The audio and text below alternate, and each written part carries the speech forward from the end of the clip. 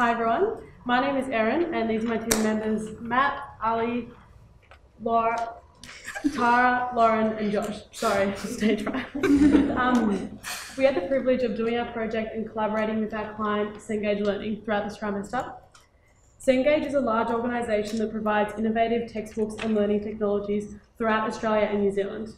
The company gave us access to their online learning portal, WebAssign, and we were asked to explore and then explain how the product worked and how it will be useful to students.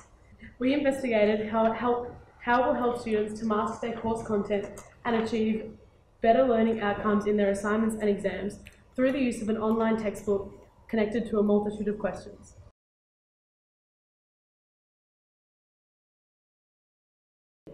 It really has something for everyone because um, as we went through the things before, it's got the different uh, learning, uh, what, what do you call these, um, learning aids.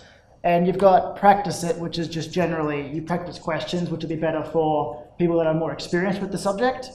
And you have master it, which would be more for someone new that's more of a just a visual learner. Uh, what what master it does is it actually breaks down like the complex questions into different segments. So commonly in physics, which is what we got a trial with, uh, you'll get questions that have actually multiple parts in them. Like you'll have to work out A to then put into equation B to work out equation C.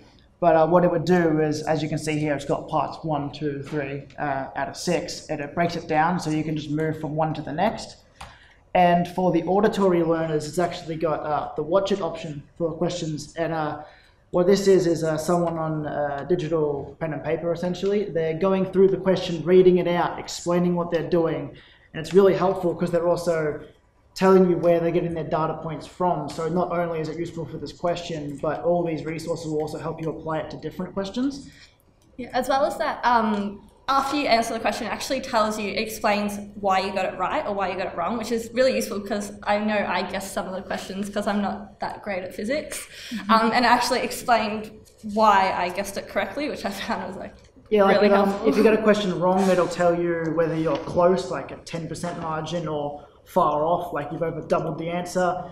Or it also knows if you've got like an incorrect sign. So say the answer is negative 12 and you're at 12, it'll actually say uh, a wrong sign used. And it also it it has like a smart system where if you don't round exactly to what like you would get wrong on the online tests at some other places, it'll actually like say you're correct even though it's slightly different to the answer that it wants. So I feel like yeah, it does cater to kind of all the kind of learners. Like I know we're all very different in the way we do learn, but we all found it to be really helpful for going through the different um, features it had.